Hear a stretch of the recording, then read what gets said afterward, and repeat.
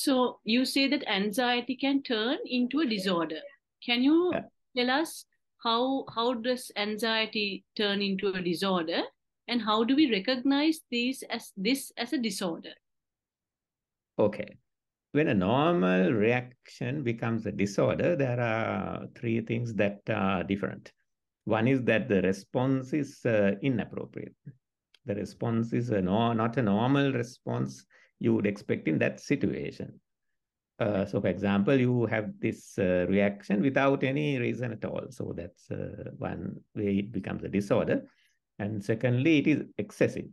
It is excessive in proportion to the problem. And thirdly, it lasts longer. It lasts longer. And uh, well, there's a fourth difference. The your functioning is seriously impaired. Your normal day-to-day activities are seriously impaired because of this uh, state of anxiety. However, if it's a little anxiety, that will actually improve your performance before because I mean, if if there's an exam and you're not anxious, you will not study. So a little bit of anxiety is normal and necessary. But when it becomes a disorder, then it interferes with our function. So that's how we determine when anxiety becomes a disorder. It's not always a clear dividing line, but however, of course, when it's excessive, you know it's a disorder. And how are there many anxiety disorders? How do you separate one anxiety disorder from another? Yes, uh, there are several, and we actually divide them according to the time duration and the reason for the anxiety. So let me explain. So out of the anxiety disorders, uh, the common, not the common one, the, there's one called generalized anxiety disorder, where you're anxious most of the time for no particular reason, and that lasts for months and months, and that's called generalized anxiety disorder or GAD for short. And then, of course, we get the shorter term anxieties, the anxieties that last for a shorter time. And uh, some of these anxieties are in response to a, well, I said it's like a stress, but it's in response to a identifiable event uh, or stimulus. It can be in the mind also, the stimulus. Uh, so these are called uh, phobias. So phobias are fears that we have for various things. And that's one of the commonest of problems of a human being, phobias. Now, all of us have phobias. None are exempt. That doesn't mean all of us have a mental disorder. Uh, a phobia becomes a disorder when it seriously interferes with your normal day-to-day functioning.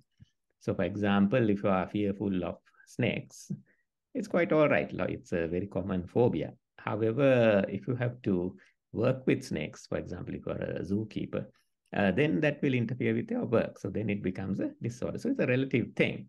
So the so we get the long-term generalized anxiety disorders, and then we get the shorter-term ones. And one of the group is called phobias, which is a specific fear of uh, event or or a situation.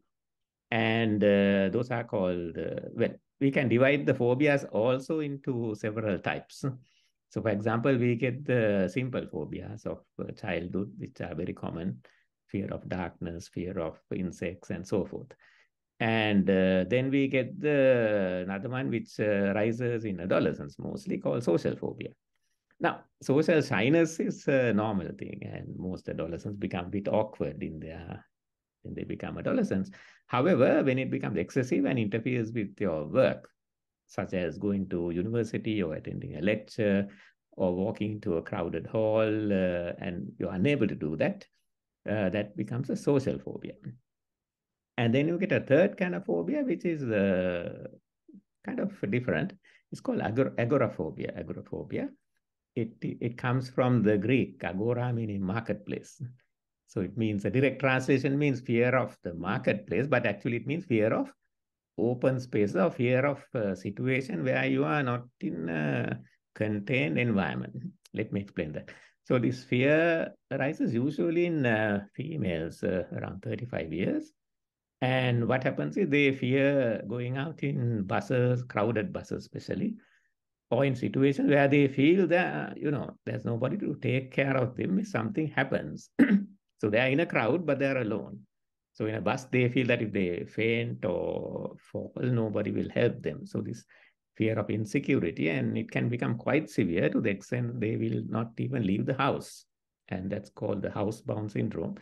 And that's a severe form of agoraphobia.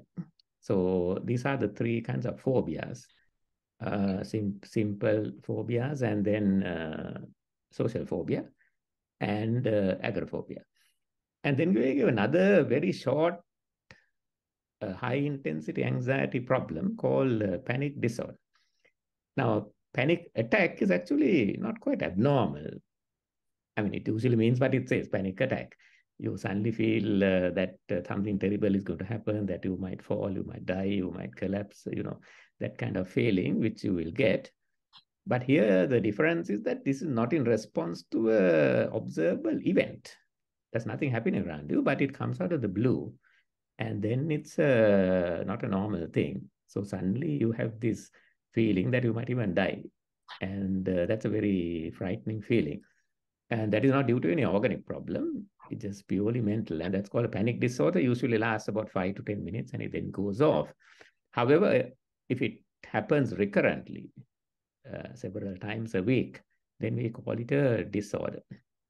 So this is the kind of spectrum of anxiety disorders that we get in uh, in psychiatry.